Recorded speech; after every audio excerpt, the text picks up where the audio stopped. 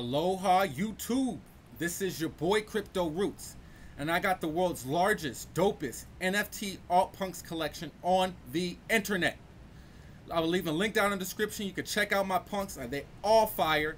If you want to make a bid or want to buy one of my punks, holler at me. You know what I'm saying? You can do it on OpenSea. And if you want to help me hustle my punks, I'll break bread with you. Check them all out. Much love. Peace. Aloha YouTube, this is your boy Crypto Rootz and I'm back at it again spitting more crypto game, the DeFi Kingpin, the blockchain hustler, Mr. Crypto Exotic, you know what I'm saying, Dreddy Nakamoto. Shouts out to all my new subscribers, I really, I really do appreciate it. Thank you for showing the love, you know what I'm saying, and all my old time subscribers, I really appreciate it man, I couldn't make it this far without you. Now, I mentor a lot of people and I help them with uh, cryptocurrency education. So in order for me to help them, the more I know about their financial situation, the better I can help them with their lifestyle and budget, okay? Now, in order to, for me to help them, I have to see and know what's going on on their computer. So they don't make any mistakes, they don't lose any money, this is new technology, and it happens. So what I'm noticing is that a lot of my mentees are shitcoin hunters. This is no offense, but people who don't know about cryptocurrency, people who just aren't that educated, they buy a lot of shit coins. And I just can't understand why. Why can't you just stick to Bitcoin? Why can't you just stick to Ethereum?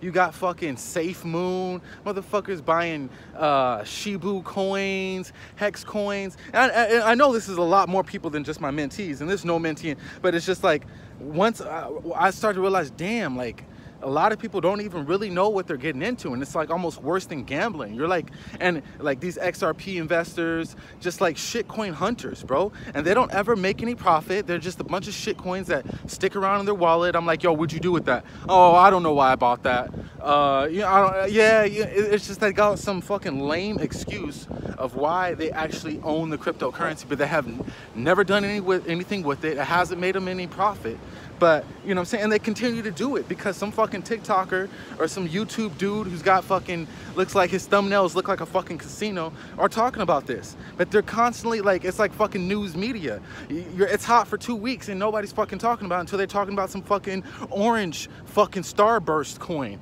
right? Like, yo, stop this shit. It's amateur, it's unprofessional. It, it, you just, you honestly just lose money because all these are just bunch of fucking cash grabs. All these are bunch of rug pulls. And a lot of people don't want to admit they want to, they want to talk shit to, uh, to Rootz in the comment about how much they know about cryptocurrency, but you look at them and they own nothing but a bunch of fucking shit coins, you know? And they're like, to me, they're like bottom feeders. You're like crypto bottom feeders. You could have just stuck with Ethereum. You could have just stuck with Bitcoin. You could have just bought some solid foundational coins. That's coins that have a strong, solid foundation.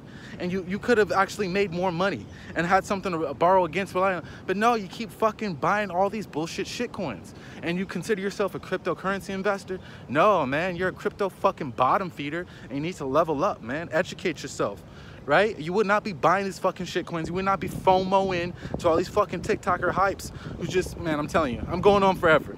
But stop that shit. Stop it because it's only gonna dig you a hole and you're never gonna you're never gonna qualify for airdrops buying shit coins right you're, you're never you know so you want to want to learn how i'm getting all this free money because the tokens i buy are utility tokens they have a use case to them they're meant to do something. They're meant to vote. They're meant to do something with them other than just fucking buying because everybody else is buying them, right?